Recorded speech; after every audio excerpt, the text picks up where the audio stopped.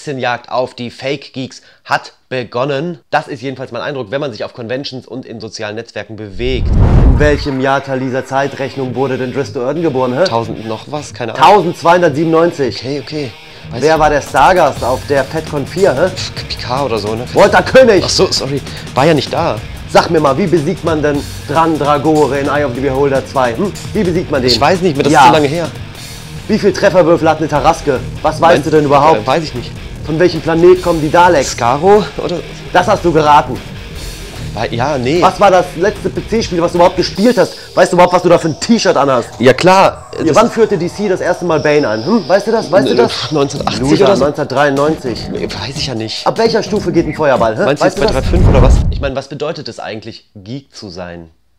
Zugegeben, früher war alles ein bisschen anders. Wir haben uns auf Conventions getroffen mit Freunden, äh, haben das gleiche Hobby geteilt und äh, haben uns so ein bisschen wie die Ausgestoßenen gefühlt, äh, wenn, wir, wenn ich verkleidet dann durch Bonn gerannt bin oder so und habe da nicht viel Verständnis bei den normalen Leuten geerntet. Das Wort Geek oder Nerd kannten wir damals noch gar nicht, den Begriff. Wir waren einfach so. Wir haben einfach gemacht, was uns Spaß macht. Und irgendwann wurde dann Geektum richtig populär. Also das war durch verschiedene Filme, durch Serien wie Big Bang Theory, äh, war plötzlich Geek total in. Geek war das neue Punk. Du konntest Individualität dadurch ausdrücken, dass du Geek warst. Plötzlich wollten ganz viele Leute Geek sein.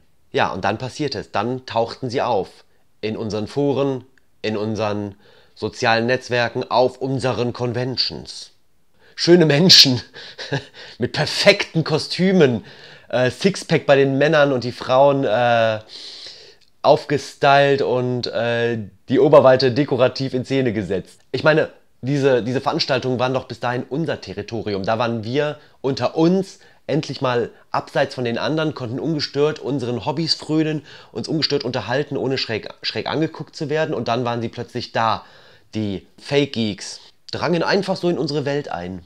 Ich meine, haben die damals die Einführung von D&D 3.0 miterlebt oder haben die wie wir jeden Samstag um 17 Uhr ZDF eingeschaltet, weil da die neueste Folge von Star Trek TNG kam? Nein.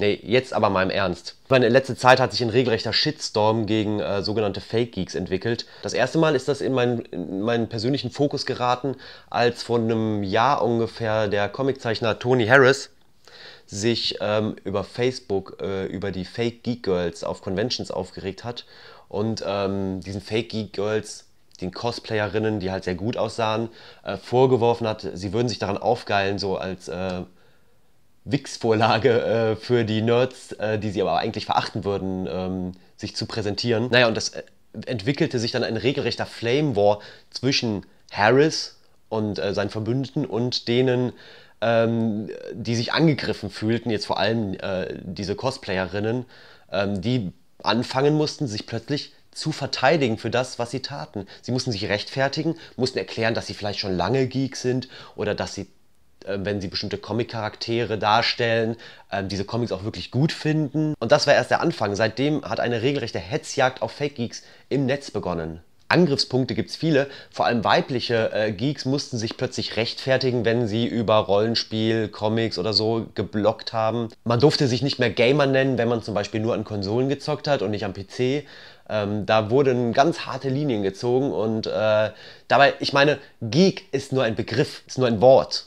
Das hat keinerlei Bedeutung. Das kann man äh, unterschiedlich auslegen. Es gibt keine festgelegte Definition, was ein Geek ist und was nicht. Es gibt keine Grenze. Hier hört der Geek auf und hier beginnt der Geek. Das ist keine Auszeichnung, ein Titel, den man äh, stolz vor sich herträgt und über den man sich definiert. Es geht darum, dass alle Leute einfach das tun, was ihnen Spaß macht. Ich meine, darum geht es doch letztendlich, dass wir alle einfach äh, den Hobbys frönen, die uns gefallen. Und ähm, wenn man jetzt beispielsweise eine Fernsehserie nach der anderen suchtet, äh, aber noch nie wa- äh, Rollenspiel gespielt hat oder noch nie auf einer Convention war, ist man dann weniger Geek als andere? Wird mir dann das Recht entzogen, auf eine Convention zu gehen? Bullshit! Klar gibt's Leute, die seit 20 Jahren lapen und dann gibt's die, die erst äh, dieses Jahr das erste Mal mit dem Latexschwert über die Wiese vom Conquest gerannt sind. Sind die weniger wert? Haben die weniger Anrecht darauf, Spaß daran zu haben? Ich glaube nicht. Jeder hat das Recht, so viel Geek zu sein, wie er will. Und äh, das ist ja keine Competition, es ist ja kein Geek-Wettkampf. Deutschland sucht den Super-Geek oder so.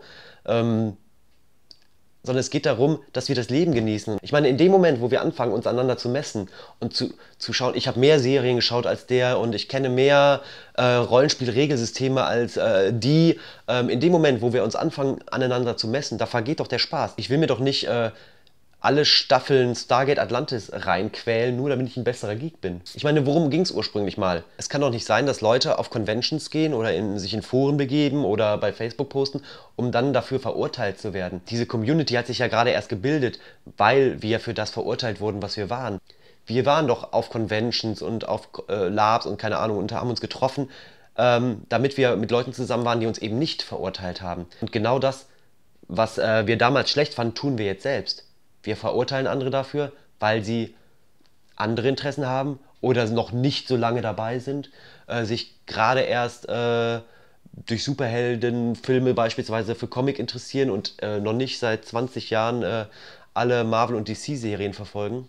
Am Ende sind wir Geeks ja trotzdem eine große Gemeinschaft, egal ob äh, äh, fett oder gut gebaut, ob hässlich oder schön. Ähm, das ist überhaupt nicht der springende Punkt. Die Leute, die wir als Fake Geeks bezeichnen, die nehmen uns ja nichts weg. Die wollen ja nur teilhaben. Warum lassen wir sie nicht teilhaben?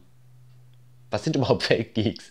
Ich meine, es steckt bestimmt keine Boshaftigkeit dahinter, wenn man äh, 1000 Stunden in sein Cosplay-Outfit steckt und auf einer Convention aufmarschiert. Und es ist doch eine Schande, dass ähm, Geek Girls sich mittlerweile rechtfertigen müssen dafür, dass sie halt äh, ein bisschen herausgeputzt auf eine Convention gehen in einem äh, Cosplay-Outfit und nicht äh, dem typischen Geek-Klischee entsprechen.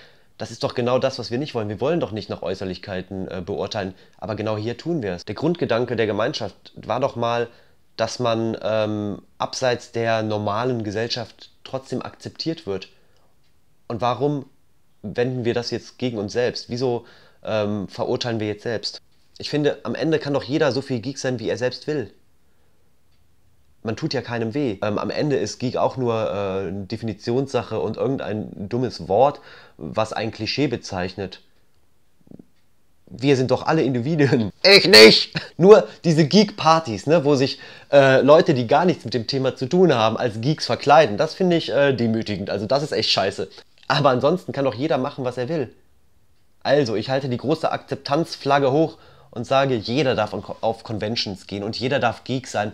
Auch äh, wenn er erst seit einem Tag dabei ist, wenn er seit zehn Tagen dabei ist, wenn er seit zehn Jahren dabei ist, ist es ganz egal. Am Ende zählt, dass wir Spaß daran haben, dass wir das, was wir gut finden, genießen und ähm, ja, und das Leben genießen. Also, Frieden unter den Geeks, sage ich. Das ist meine Botschaft an euch da draußen. Zuletzt, was haltet ihr davon? Das möchte ich auch noch wissen. Hasst ihr diese Fake Geeks? Verurteilt ihr äh, Leute, weil sie auf Conventions vielleicht nicht so viel wissen wie ihr? Oder fühlt ihr euch sogar angegriffen, weil ihr nicht alle äh, Marvel-Serien gelesen habt und habt das Gefühl, ihr müsstet euch ständig rechtfertigen? Ich finde auf jeden Fall, die Hexenjagd sollte langsam ein Ende finden ähm, und äh, jeder Einzelne kann damit anfangen. So viel von mir und ich sage ciao und bis zum nächsten Mal.